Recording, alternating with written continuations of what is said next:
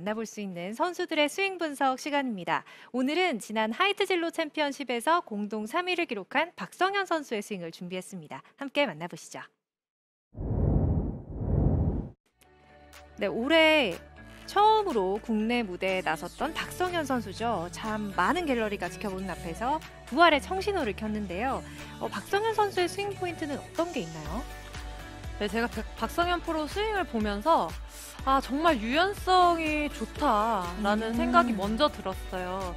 지금 백스윙에서 보시면 아크가 굉장히 크잖아요. 네. 아크가 큰데 어, 정말 이 하체는 잘 버텨주면서도 몸통에 상체 회전이 굉장히 좋거든요. 특히 어깨 회전이 어깨 회전량이 굉장히 많아요. 네. 그렇기 때문에 지금 탑의 위치도 높이 올라갈 수가 있는 건데 이건 사실 유연성이 좋지 않으면 또 음. 근력도 받쳐주지 않으면 하기 정말 어려운 동작일 수가 있어요. 그래서 많은 아마추어 분들께서도 아, 상하체 분리가 어려운 게 아니라 최대한 좀 하체는 버텨주고 그 안에서 몸통 꼬임을 만든다고 생각하시면 좋고요.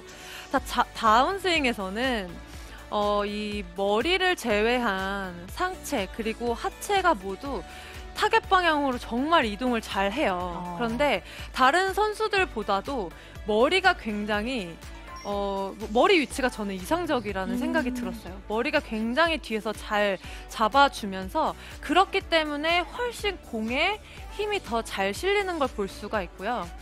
박성현 선수 피니쉬를 보면 high finish예요. 네. 제 저도 high finish를 좋아하는데 지금 이렇게 high finish를 하기 때문에 어, 공에 정말 힘도 높은 탄도로 또 조- 음. 멀리 보낼 수도 있고요. 그리고 스핀량이 또 많기 때문에 좀 다른 선수들보다 이 박성현 프로가 또 거리가 많이 나잖아요. 그래서 이렇게 좀 좋은 어, 탄도와 또 스핀량을 만들 수 있는 게 아닌가라는 생각을 합니다.